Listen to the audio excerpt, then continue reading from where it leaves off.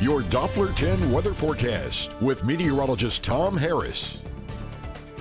And we did see a mixture of sunshine and clouds across the area. A few isolated showers out there. Still can't rule that out uh, until the sun goes down. Our weather bug camera is over there in Kingsville. It's still pretty warm, 93 degrees. Our winds are out of the east southeast at 13 miles per hour. Other temperatures 95, Beeville, Rockport coming in at 91, 90 at the Naval Air Station. You factor in the humidity, feels like 104 for us, 100 106 in Robstown, 102 in Alice, but we still have that gentle breeze coming in from the east, about 10 to 15 miles per hour. Most of the activity across parts of the upper Texas coast, but you can see a few of the showers that rolled across parts of Goliad, also into the Refugio area, a few isolated showers popping up near Orange Grove. Now, as we move throughout the next couple of days, it's going to be pretty similar, isolated showers, hot and humid. We got this area of low pressure here, and that is going to produce some pretty heavy rain again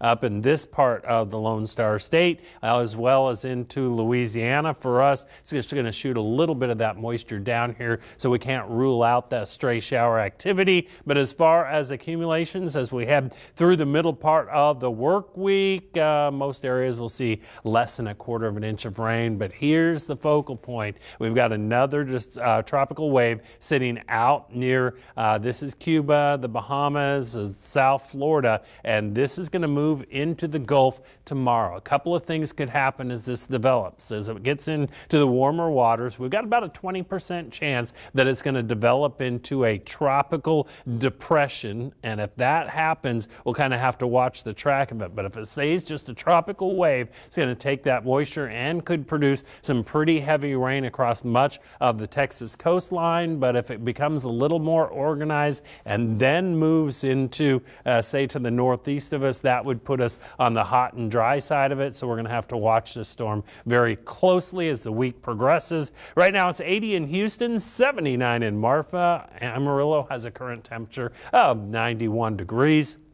Still very hot out west. We are seeing the clash of the cool air and the very warm air across the northern tier states. But uh, we'll kind of zoom on in here. We're seeing the showers and thunderstorms across the lower Mississippi Valley. And then here's the line of thunderstorms that likely going to produce some severe weather as we head into the overnight hours. Here's a look at our forecast though for tonight. Partly cloudy and mild. We'll see an overnight low right around 76 degrees. Tomorrow is again going to be a lot like today, mostly sunny, isolated showers, expected daytime high right around 94 degrees. Now the seven day forecast does get tricky. We're going to have the isolated showers next couple of days, but whatever happens in the Gulf, right now we are putting the potential for some pretty heavy rain, and that's the heaviest rain will likely be Friday into Saturday, and that should give us a little cooler temperatures. We'll have some lingering moisture, chance of showers again through Sunday, but uh, this is the area